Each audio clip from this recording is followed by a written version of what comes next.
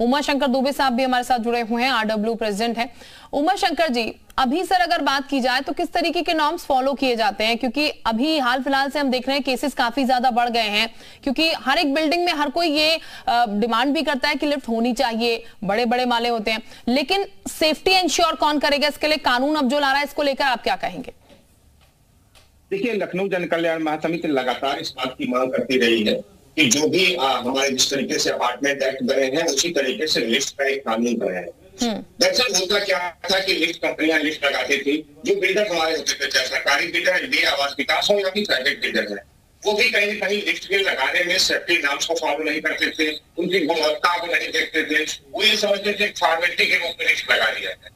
दूसरे तरीके जो आरडब्ल्यू हमारी होती है जब एक बार लिफ्ट लगा दी गई चूँकि महँगी लिफ्टें होती हैं बदलना उसको आसान नहीं होता था उसको एएमसी देकर के किसी तरीके से काम चलाते हैं जिसका रिज़ल्ट है कि आज दिन लिस्टें हमारी खराब। हम्म। अब देखिए एक तो होती है एएमसी दूसरी होती है इंश्योरेंस क्योंकि लेकिन सरकार ने मुख्यमंत्री जी ने उसकी जो जो बात कही है उसकी जो एएमसी तो अलग चीज़ें हो गई इंश्योरेंस की बात कही है। इंश्योरेंस बहुत इंपॉर्टेंट चीज़ें होती है एएमसी होती है उसकी पार्ट की। अगर कोई पार्ट खराब होता है तो जो उसकी एएमसी एजेंसी होती है उस पार्ट को रिप्लेस करती है। लेकिन कोई दुर्घटना होती है तो उसके लिए इंश्योरेंस होना बहुत ज़रूरी है। इस बात की भी लगातार मांग हो रही थी। और निश्चित तौर पर मैंने पूरी उसके ब्रीफ को देखा जो मुख्यमंत्री जी ने जो आदेश दिए हैं, अधिकारियों को, जो कानून बनाने की बात कही गई है, उसमें न तो हमारा बिल्डर अपनी ज़िम्मेदारी से भाग सकता है, न तो निर्माण एजेंसियाँ हैं, या फिर हमारे जो प्राधिकरण है, उनकी भी ज़िम्मेदारी उसमें होगी। उसके सेफ्टी नॉर्म्स को फॉलो करें, उसको देखें मॉनिटरिंग करें।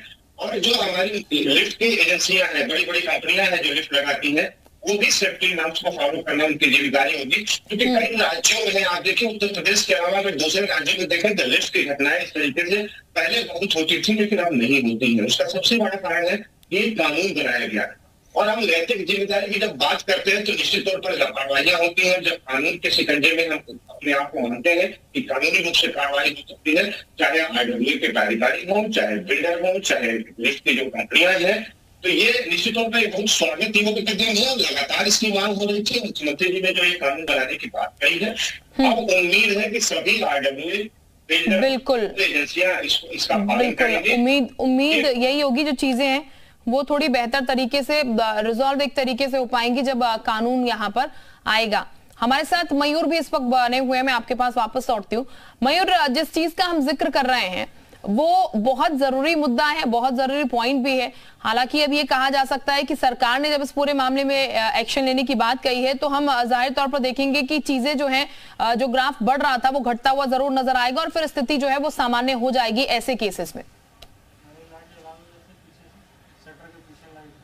हाँ बिल्कुल देखिए, स्थिति सामान्य होनी भी चाहिए क्योंकि ये बहुत बड़ा रिस्क हो जाता है। अगर एस्केलेटर या लिफ्ट कहीं भी खराब होती है और टेक्निकली लापरवाही की वजह से अगर इस तरीके की चीज़ें होती हैं तो जिम्मेदार वो लोग होते हैं जिनके ऊपर ज़िम्मेदारी होती है उसको ठीक करने की। तमाम मामले सामने, लेकिन सबसे पहले जो नियम बताए गए हैं, वो हम आपको करके दिखाते हैं। ये एक लिफ्ट के बाहर इस वक्त हम मौजूद हैं और तरह तरह की अलग अलग तरीके की लिफ्ट आती है। ये इस लिफ्ट में अच्छी बात यह है कि इसमें बीच में ये पॉइंट्स बने हुए हैं, जिससे आप अगर फंस जाते हैं तो हवा अंदर जा सकती है। इसके अंदर आएँगे हमारे कैमरा पर्सन जरा अंदर आकर जो इसके अंदर फ़ंक्शंस हैं, वो एक बार दिखाने का यहाँ पे प्रयास करें। जैसा कि कहा गया है कि एक बेल रिंग होनी चाहिए इमरजेंसी रिंग इसको देखिए लिफ्ट काफ़ी छोटा है।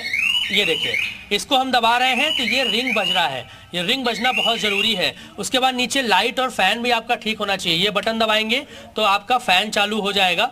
और ये लाइट हम देखिए हमने बंद किया ये लाइट बंद हो गई ये लाइट जल जाएगी सारे बटन्स इसमें सही होने चाहिए और जो भी फ़ंक्शन एक लिफ्ट में होना चाहिए हाँ एक कमी ज़रूर है इस लिफ्ट में इसमें सीसीटीवी कैमरा नहीं लगा हुआ है क्योंकि ये बहुत बड़ी बिल्डिंग हम्म। नहीं है ये लिफ्ट बहुत बड़ी नहीं है छोटी लिफ्ट है ऐसे में जो बड़ी बिल्डिंग्स हैं उन पर उनमें जो है सीसीटीवी कैमरा लगना ज़रूरी है जो इसमें जो है खामी है, जिसको ठीक करने की फ़िलहाल ज़रूरत है। हम बाहर निकलते हैं।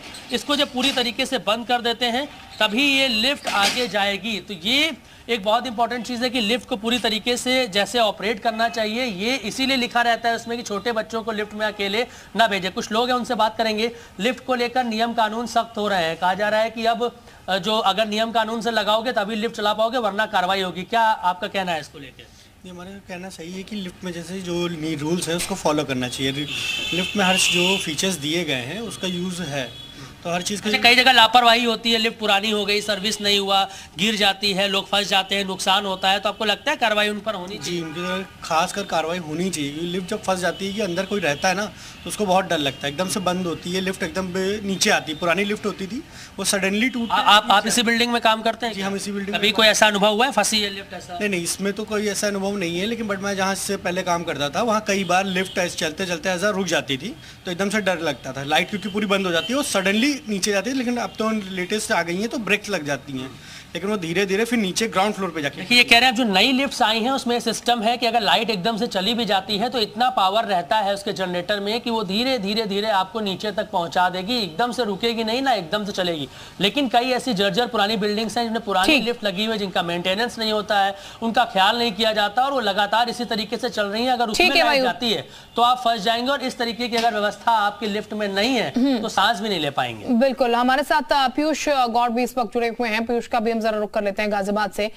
पीयूष जरा लोगों से ही जानने की कोशिश कीजिएगा। अब जब ये कानून आ जाएगा, क्योंकि हम लगातार ये तो जान रहे हैं कि कुछ किसी भी चीज़ के लिए अगर कोई कानून आता है तो उसमें स्थितियाँ बेहतर हो जाती हैं। लेकिन लोग इसको कितना बेहतर मान रहे हैं, लोग कितना जल्दी चाह रहे हैं, इस तरह के कानून होना चाहिए। चले हमारे साथ गगन भी चले ठीक है, पीयूष बोलेगा यहाँ पर की जा रही थी। हाँ बिल्कुल, काफ़ी चले पीयूष के पास हम लौटेंगे शायद पूरी तरीके से बेहतर तरीके से क्वालिटी उनकी नहीं आ पा रही है, लेकिन हमारे साथ कुछ और मेहमान भी जुड़े हुए हैं, उनका भी हम रुक कर लेते हैं। हमारे साथ गगन साहब भी जुड़े हुए हैं, गगन भटनागर लिफ्ट स्पेशलिस्ट हैं। गगन जी, लिफ्ट को लेकर अगर बात की जाए तो पिछले कुछ समय से हम ऐसे केसेस जो है लगातार देख रहे हैं, जहाँ पर कभी बच्चे फंस रहे हैं, कभी बुज़ुर्ग फंस रहे हैं, कभी लोग जो है घंटों घंटों लिफ्ट में फंस जा रहे हैं। क्या क्या प्रिकॉशन सर होने चाहिए लिफ्ट के लिए? लिफ्ट जब कहीं लगा रहे हैं आप तो कौन से नियम कायदे जो है फॉलो करने चाहिए, ताकि ऐसी जो घटनाएँ उससे जूझना ना पड़े किसी को। पहले से बना रखी है लिफ्ट एक्ट प्रॉपरली बनाए हर चीज़ प्रॉपरली हुई है। क्या क्या रूल फॉलो होने चाहिए। बट होता यह है कि लोग उसको स्किप कर देते हैं वो चीज़ों को फॉलो प्रॉपर नहीं करते हैं। जैसे अभी नौ राज्यों में ऑलरेडी ये लिफ्ट एक्ट है उसके अकॉर्डिंग काम होता है लोग प्रॉपर चेक करते हैं इंस्पेक्टर आके प्रॉपर फॉलो करते हैं। बट होता ये है कि बाद में जाके ये कुछ पैसा बचाने की वजह से लोग प्रॉपर मेंटेनेंस नहीं करवाते जिससे कि जो भी डिवाइस जो लगी भी होती है वो प्रॉपरली काम करना बंद कर देती है। इसके बाद में परेशानी स्टार्ट होती है फिर थोड़ा बिल्कुल। शुक्रिया आप सभी का हमारे साथ जुड़ने के लिए। हालाँकि अभी कानून आ रहा है तो स्थितियाँ ज़रूर सुधरेंगी लेकिन